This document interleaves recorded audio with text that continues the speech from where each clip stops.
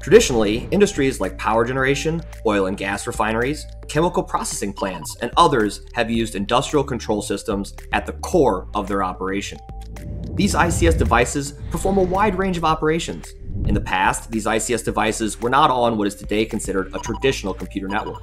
Many of these systems started analog and were upgraded to only slightly digital controls. With these devices not on the traditional network, traditional IT cybersecurity was not a consideration. Things like physical security were paramount.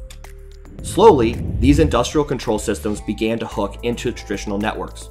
First, only sensors to provide data on operational state, but today, intelligent electronic devices in the ICS space allow direct control of facility systems.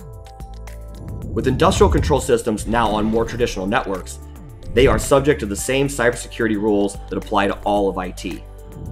Design considerations for industrial control systems and the information technology that supports them must now adopt a new mindset for security, taking the concepts like physical penetration testing to cyber and implementing cybersecurity as a core tenet.